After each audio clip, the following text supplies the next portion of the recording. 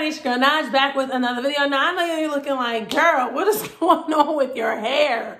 But listen, I just finished my first workout of 2020. It was brutal. When I tell you it was brutal, I mean every part of my body just aches. But anyway, I got enough strength to go ahead and air fry me something, so stay tuned.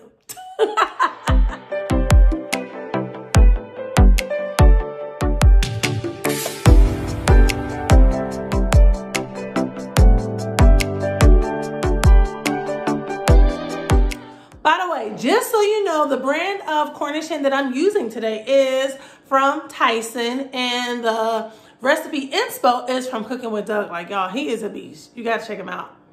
Enough said.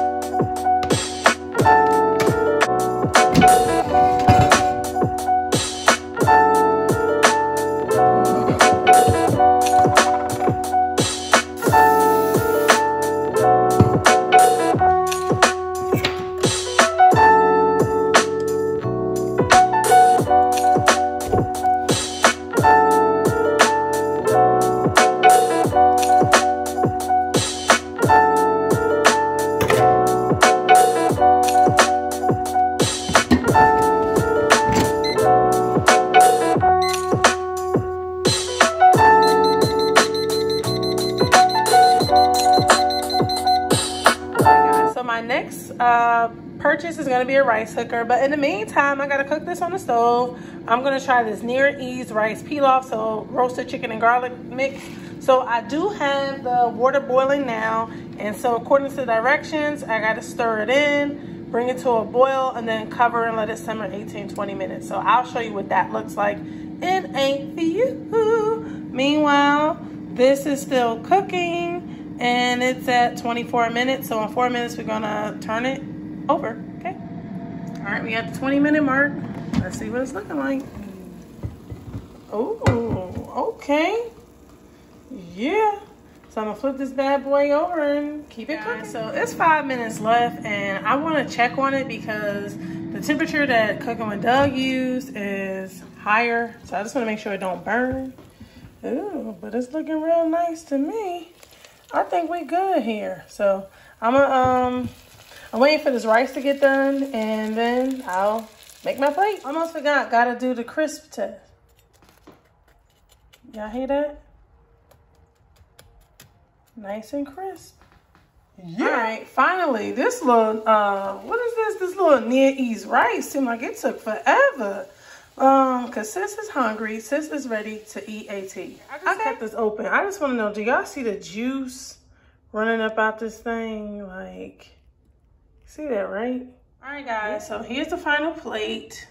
I'm gonna go on and eat this one little drumstick, and then we gonna call it a night. Listen, sis is tired. You heard me? Do y'all see how juicy it is though, right? Mmm. Tastes yummy to me. Can't wait to finish it. All right, guys, so that concludes this video. I want to say thank you guys so much for watching and catch you on the next Air Fryer Bay episode. I want to okay. show y'all this plate and just to show you another close-up of how juicy the meat is on this Cornish hen. Also the spices. Oh my God. Like I said, cooking with Doug, sir, you ain't no.